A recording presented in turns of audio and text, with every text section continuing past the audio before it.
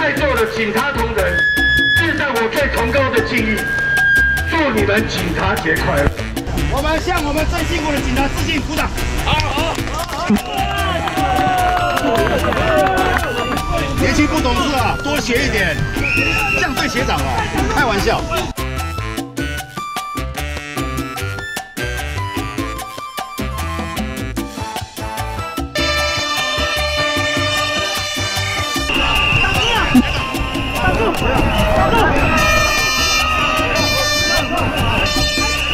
针对年金改革这个政府不抗议活动 A 钱不不 A 钱就不缺钱呢、是是最拍什么嗯年金？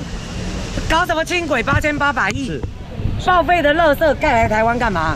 老老姐，您说的报废的垃圾是指日本的轻轨不是报废的垃圾吗？什么觉得不合理的地方？本来就不合理呀、是共产党都在提升年金了，就只有民进党在那砍年金，丢脸不要脸！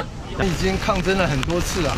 嗯，蔡英文这个政府从来不接受我们的抗争啊，一而再再而三的透过各各各种手段、各种方式，用最合法的理由来抗争，但是他完全不理不睬我们，完全用巨马阻拦我们。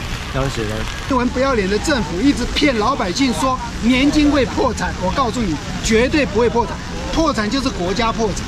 哎呀，年轻人你们以后也领不到了，就是以前的军工教把你们吃光了，错了，没有我们这些老军工教会有今天的台湾的繁荣吗？年轻不懂事啊，多学一点。